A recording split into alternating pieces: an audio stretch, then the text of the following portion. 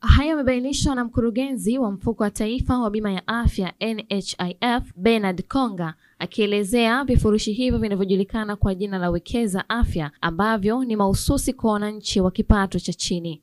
Vifurushi hivi kama nilivyosema, vinalenga umma wa Tanzania.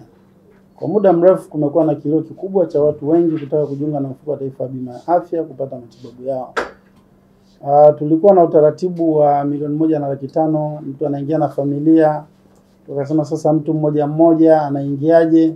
Basi kupitia vifurushi hivi sasa mtu ataweza kuingia mmoja mmoja, akaingia yeye na mkewe au mumewe au wawili na mtoto mmoja, kufuatana na ukubwa wa familia na kuzingatia uhitaji wao, lakini zaidi kuzingatia uwezo wao. Aidha, ametoa wito kwa watoa huduma wa mfuko wa taifa bima ya afya kutoa ufafanuzi wa bima hiyo ili wananchi waweze kunufaika na huduma hiyo.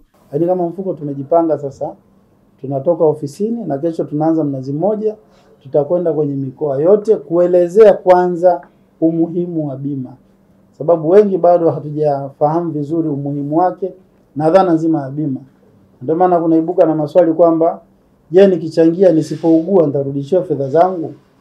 Ngaja hakuna swali nalosema je, nikiugua zaidi nitadaiwa zaidi. Kwa hiyo hii yote inaonyesha dhana nzima ya bima bado tunahitaji kuisema. Kwa sisi kama mfuko tumejipanga, tutaendelea kuhamasisha na kuelimisha dhana nzima ya bima nchi nzima, ili wananchi walio wengi zaidi waweze kujiunga na waweze ku kufanya maamuzi yaliyostahiki. Vifurushi hivyo vya bima ya afya vitazinduliwa rasmi Alhamisi hii jijini Dar es Salaam na Waziri wa Afya, Maendeleo ya Jamii, Jinsia, Wazee na Watoto, Umi Mwalimu.